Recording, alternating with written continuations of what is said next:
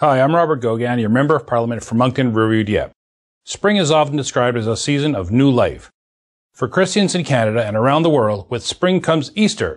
This is a time of faith, trust, and tremendous hope. It is a tribute to the miracle that took place thousands of years ago. It carries an inspiring message of grace and redemption. This Easter, I'd like to extend my warmest wishes to all those celebrating. Happy Easter.